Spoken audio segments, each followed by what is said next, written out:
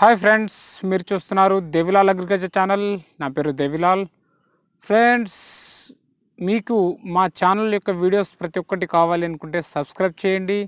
పక్కన వచ్చే గంట సింబల్ని తప్పకుండా నొక్కండి.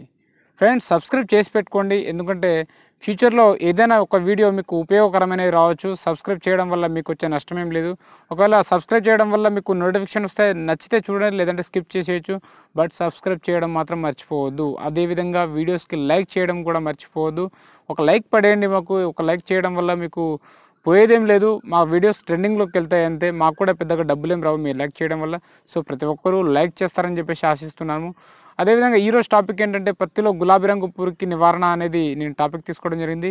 ఈ మందులు కానీ మీరు స్ప్రే చేసినట్టయితే హండ్రెడ్ పర్సెంట్ గులాబీ రంగు పురుగు కంట్రోల్లోకి వస్తుందని చెప్పేసి నేను ఆశిస్తున్నాను.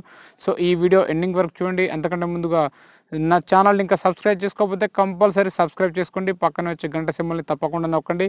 సబ్స్క్రైబ్ చేయడం రాకపోతే ఒకసారి యానిమేషన్ చూసి నేర్చుకోండి.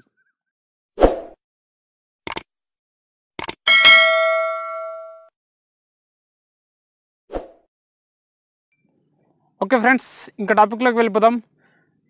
తెలంగాణ అండ్ ఆంధ్రప్రదేశ్లో సాగు చేస్తున్నటువంటి ప్రధానమైన పంటల్లో పత్తి చాలా ముఖ్యమైనదండి ఈ మధ్య పత్తిలో గులాబీ రంగు పురుగు అనేది అటాక్ చేయడం వల్ల గత ఒక టూ ఇయర్స్గా ప్రతి రైతులు చాలామంది నష్టపోవడం అయితే జరుగుతుంది. మన గులాబీ రంగు పురుగుకి నివారణ కోసమని ఒక వీడియో చేయడం జరిగింది. సో అందులో కాకపోతే ఎలాంటి మందులు అనేది మేము చెప్పలేదు. సో ఈ వీడియోలో మందులు వివరాలు అనేది నేను అందిస్తాను.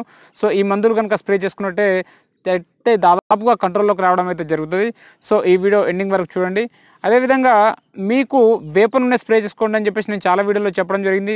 చాలామంది రైతులు కూడా మీరు వేప నూనె అనేది వాడుతున్నారు నా సలహాలు పాటించి సో చాలామంది కూడా బాగుందని మాకు చేన్లు కూడా చాలా బాగా వస్తున్నాయని చెప్పేసి చెప్తున్నారు. ఈ గులాబీ రంగు పురుగుకి ముఖ్యంగా అటాక్ చేసేది వేప నూనెనే. సో వేప నూనె వాడడం వల్ల దాదాపు కంట్రోల్లోకి వచ్చేస్తూ ఉంటుంది. సో ఇంకా వేప నూనె ద్వారా కూడా మీకు కంట్రోల్ అవ్వట్లేదు ఇంకా పెరిగిపోతుంది అంటే మీకు మామూలుగా గులాబీ రంగు పురుగు వచ్చేది పోయేది కూడా తెలియదు మనకు టోటల్గా డ్యామేజ్ అయిన తర్వాతనే దానికి యొక్క మనకి ఏం జరుగుతుందో అనేది తెలుస్తుంది. సో అది రాకముందే కొంచెం గమనించాలి. మన ప్రతి క్షణంలో అప్పుడప్పుడు గమనిస్తూ ఉండాలి. గుడ్డు దశలో మామూలుగా చిన్న చిన్న దశలో కనుక ఉన్నట్టయితే మనకి స్టార్టింగ్లోనైతే ప్రొఫినపాస్ తీసుకోవచ్చు. ప్రొఫినపాస్ యాభై శాతం ఈసీ అని ఒక మందు ఉంటుంది. అది స్ప్రే చేయొచ్చు. లేకపోతే మనకు థయోడి కార్ప్ మనకు లద్దె పురుగు అని చెప్పేసి చెప్తుంటాం కదా ఈ థయోడి కార్ప్ అనేది కూడా మనకి ఈ గులాబీ రంగు పురుగుని కూడా కంట్రోల్ చేయడానికి చాలా యూస్ఫుల్ ఉంటుంది. అదేవిధంగా క్లోరోపరిపాస్ కూడా మనం పత్తిలో స్ప్రే చేసుకోవచ్చు. ఇది కూడా మీకు గులాబీ రంగు పురుగు స్టార్టింగ్ దశలో మనకి ఏంటంటే ఇప్పుడు ఎనభై నుంచి తొంభై రోజులు తొంభై రోజుల లోపు దశలోనే మనకి ఈ మందులు అనేది పనిచేయడం అయితే జరుగుతుంది. సో మనకి ప్రథమంగా మొదటి దశలోనైతే ఈ మందులు స్ప్రే చేసుకోవాలి. డైరెక్ట్గా పెద్ద మందులకైతే వెళ్ళిపోదు. అలా వెళ్ళినట్టయితే మీకు పత్తి చేనులు ఖరాబ్ అయ్యే ఛాన్సెస్ ఎక్కువగా ఉంటాయి. సో మనకి చేను ఎండింగ్ దశలోకి వచ్చేసి మనకు గులాబీ రంగు పురుగు ఉధృతి బాగా పెరిగిపోయినట్టయితే మీరు సైపన్ మిత్రిన్ అనే మందును కనుక కొట్టుకున్నట్టయితే హండ్రెడ్ పర్సెంట్ కంట్రోల్లోకి వస్తుంది. నాకు చాలామంది రైతులు కూడా చెప్పడం జరిగింది. కాకపోతే ఈ మందు వన్ ఎంఎల్ వన్ లీటర్ చొప్పున కొట్టుకోవాలి. ఎక్కువైనా కూడా ఈ మందుతో చాలా ప్రమాదాలు అయితే ఉన్నాయి. అదేవిధంగా మందు కంట్రోల్లోకి రా ఈ మందుతోటి కంట్రోల్లోకి వస్తుంది కదా అని చెప్పేసి మూడు నాలుగు సార్లు స్ప్రే చేసేయద్దు.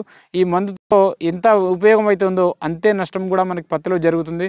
ఎందుకంటే ఈ మందు ఎక్కువగా వాడడం వల్ల ఏమవుతుందంటే మీకు పచ్చదోమ కానివ్వండి తెల్లదోమ కానివ్వండి పే పేనుబంక కానివ్వండి వచ్చే అవకాశం ఎక్కువగా ఉంటుంది కాబట్టి ఇక ఈ సైపర్మిత్రిన్ అనే మందుని చాలా కంట్రోల్గా వాడుకోవాలి. వన్ ఆర్ టూ టైమ్స్ కంటే ఎక్కువ అయితే స్ప్రే చేయొద్దు. గులాబీ రంగు పురుకి ఇవే మనకు ప్రధానమైన మందులు. మార్కెట్లో మీకు విరివిగా చాలా రకాల మందులు ఇవి ఏదో చెత్త చెత్త కంపెనీలన్నీ కూడా మందులు తెచ్చేస్తున్నాయి. సో మీ ఇష్టం మేము వే అవే వాడుకుంటామంటే అవే వాడుకోండి. కాకపోతే ఈ మందులు కనుక స్ప్రే చేసినట్టయితే రిజల్ట్స్ ఉన్నాయి. నేను చాలామంది రైతుల్ని కనుక్కున్న తర్వాత మీ ముందుకు రావడం అయితే జరిగింది. మీకు చెప్పడం అయితే జరుగుతుంది. సో ఇది అనుభవపూర్వకంగా వాడుతున్న రైతులు చెప్పిన అనుభవాలు ఇవన్నీ. వాళ్ళ ద్వారా తెలుసుకుని మీకు చెప్పడం అయితే జరుగుతుంది. నాకు ఏ సైంటిస్టులు చెప్పలేదు ఏ శాస్త్రవేత్తలు చెప్పలేదు ఏ వ్యవసాయ అధికారులు చెప్పలేదు. మనకు రైతులు చెప్పిన మందులే మనం చాలామందికి మనకి చెప్తూ ఉంటాము. సో ఖచ్చితంగా ఇవి వాడుకుంటే మీకు మంచి రిజల్ట్స్ అయితే ఉంటాయి. బట్ వేప నూనె వాడకం అనేది మానుకోవద్దు. చాలామంది ఇప్పుడు మనకు కొంతమంది చెప్తున్నారు వేప నూనె వేప నూనె అంటున్నారు. అధికంగా వాడడం వల్ల చేన్లు ఖరాబ్ అవుతాయా అని చెప్పేసి కూడా డౌట్స్ క్రియేట్ చేస్తున్నారు. ఎందుకంటే వేప నూనె వల్ల ఎలాంటి ప్రమాదం అయితే రాదు. మీకు monthly one or two times spray చేసుకున్నట్టయితే మనకి పురుగుల్ని కూడా అరికట్టే సామర్థ్యం వేప నూనెకు ఉంటుంది. అదేవిధంగా గుడ్డు దశలో ఉన్న వాటిని అన్నిటిని కూడా ప్రతి ఒక్క గుడ్డుని కూడా ఇది నాశనం చేసేస్తుంది కాబట్టి ఇక వేప వల్ల ఎలాంటి ప్రమాదం అయితే లేదు. స్టార్టింగ్ దశలో అయితే క్లోరోపైరిపాస్ కానివ్వండి ప్రొఫినపాస్ కానివ్వండి థైరాయిడ్ కార్ప్ కానివ్వండి మీరు మందులు స్ప్రే చేసుకోండి. విపరీతంగా ఉద్ధృతి పెరిగితే మాత్రం సైపన్ మెత్రిన్ కొట్టుకోండి. వన్ ఎంఎల్ వన్ లీటర్కి ఎక్కువ మోతాదులో కూడా కొట్టద్దు. నేను సలహా మీకు చెప్పేది చాలామంది కూడా మనకు డౌట్స్ చెప్తూ ఉంటారు. సో ఇంకా ఏమైనా డౌట్స్ ఉంటే కూడా కామెంట్లో తెలియచేయండి. మీ డౌట్స్కి హండ్రెడ్ పర్సెంట్ నేను రిప్లై ఇస్తాను. మా మా అనుభవాలు కూడా మేము చెప్పుకుంటాము. సో కంపల్సరీ మీకు ఏమైనా డౌట్స్ ఉంటే కామెంట్ చేయండి బ్రదర్ ఈ వీడియోని తప్పకుండా లైక్ చేస్తారని ఆశిస్తున్నాను. మీ ఫ్రెండ్స్ అండ్ ఫ్యామిలీ మెంబర్స్ కూడా మన వీడియోస్ని షేర్ చేయండి. అదేవిధంగా మన వీడియోస్ని మన ఛానల్ని సబ్స్క్రైబ్ చేయండి. మీ ఫ్రెండ్స్తో కూడా సబ్స్క్రైబ్ చేయిస్తారని చెప్పేసి ఆశిస్తూ. Thank you bye bye